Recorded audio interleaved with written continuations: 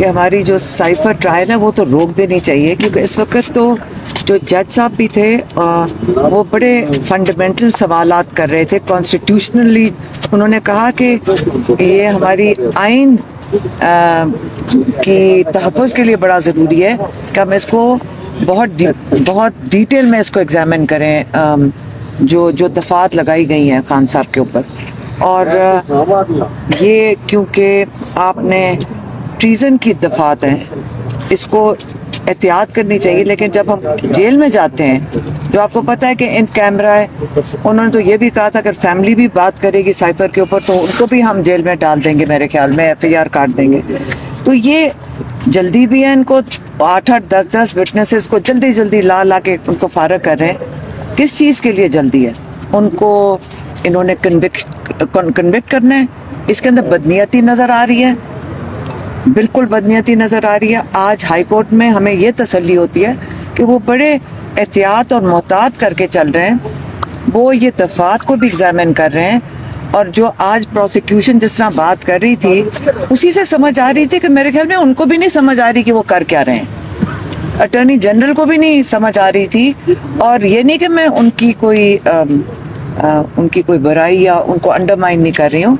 लेकिन ये इतनी टेक्निकल चीज़ है ये ये समझ आई है कि सिर्फ़ हमें नहीं समझना, जो लॉयर्स हैं अटर्नी जनरल है प्रोसिक्यूशन है, सबको बैठ के इसको मोहतात होकर इसको इस्तेमाल करना चाहिए। एक एक्स प्राइम मिनिस्टर एक एक्स फॉरेन मिनिस्टर जिनके ऊपर ये चार्जेस लगाए गए हैं, ये इनको मोहतात होना चाहिए।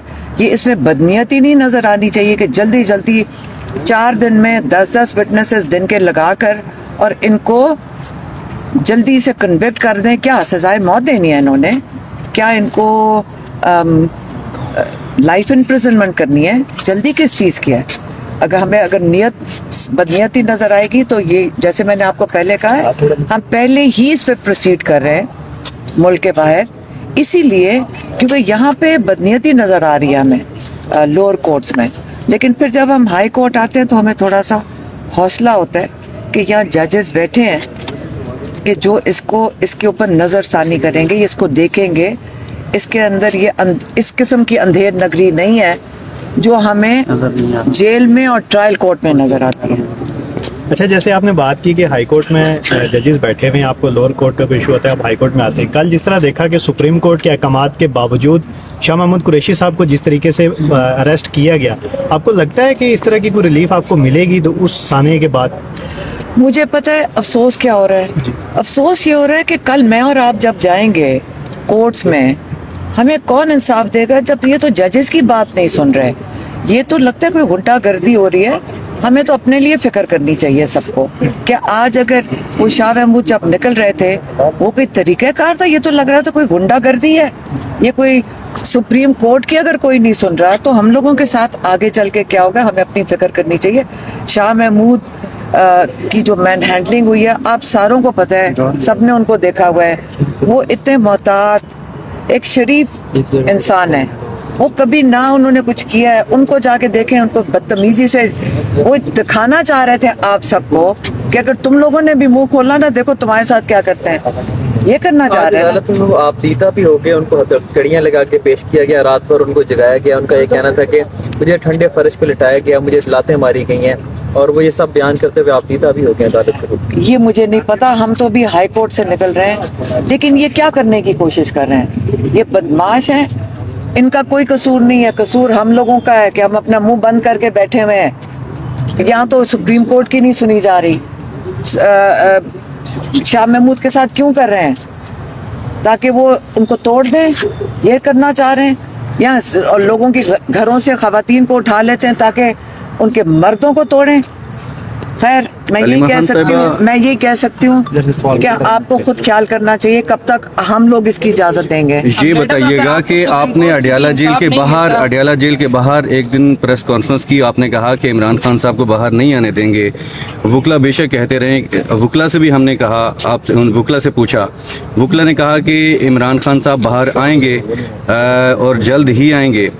और आपने कहा था कि नहीं आएँगे तो उनका इसका अलीमा खान साहबा से पूछें कि वो क्यों नहीं आएँगे? देखिए मैं आपको बताती हूँ कि जो वकील कर रहे हैं दिन रात मेहनत कर रहे हैं। और जो लॉ के मुताबिक अगर काम होगा तो उनको तो जेल में होना ही नहीं चाहिए था। अगर लॉ के मुताबिक काम हो, और वकील बात करेंगे लॉ के मुताबिक। आप मुझे बताएँ, शाह महमूद को अभी सुप्रीम कोर्ट ने आपने खुद कहा है कि बेल दिया कहाँ है इस वक्त शाह महमूद? तो यहाँ पे इमरान खान ने कहा था, जो लंदन अग्रीमेंट हुआ है, उसके मुताबिक उनका इरादा ये है कि इलेक्शन से पहले तो किसी हाल हाल में उनको निकालना नहीं। उनका इरादा मैंने आपको बताया था और जो इमरान खान ने हमें आ, उसका जिसका खच्चा खच्चे का इजहार किया। मैडम अगर सुप्रीम कोर्ट से भी इंसाफ नहीं मिलता जिस तरह आप कह रही है तो फिर बैन अवी किसी जगह जाने का इरादे क्योंकि खान साहब के साथ जो हो रहा है और आपके भाई भी है मैम जेल के अंदर है उनके लिए किस हद तक जाएँगे? इसमें ऐड कर लें कि आपने इंटरनेशनल कहा था कि आप रजू करेंगे कोर्ट कर रहे हैं। उसमें क्या पेशरफ कर रहे हैं। नहीं मैं आपको कुछ भी नहीं बताना। मैंने आपको कुछ भी नहीं बताना। अभी वो एक वो मुर्तजा अली शाह है आपके कोई जियो का। उसको जितनी मुसीबत उसको पड़ी हुई है वो लोगों के पीछे पीछे फिर रहा पूछता हुआ पता नहीं जितना परेशान वो है ना मुझे उसके लिए तरस आ रहा था क्योंकि वो कहता फिर रहा है कि ये कोई केस नहीं फ़ाइल हो रहा इसलिए तो छुपा के रख रहे हैं आप लोगों से। शुक्रिया। Thank you